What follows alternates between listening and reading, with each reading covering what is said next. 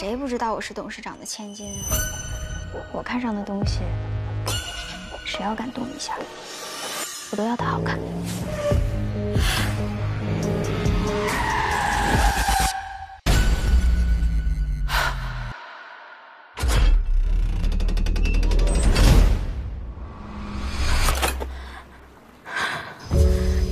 江小媛，生于一九九三年一月二十七日。我真的穿越到了七年前，没想到我也能沦落到无家可归的地步。你说我还能回去吗？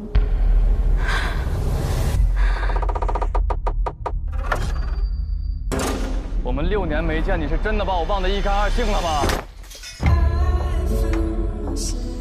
你不是一个人，你一直都是那个江小媛。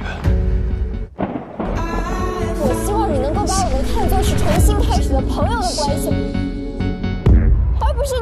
你跟旧情人回不去从前的退让。我需要知道真相。他们把我弄到这个时空里来，到底有什么目的？你有没有想过，根本没有那样一条通道可以送你回家？你也不是因为时空穿越来到这里的。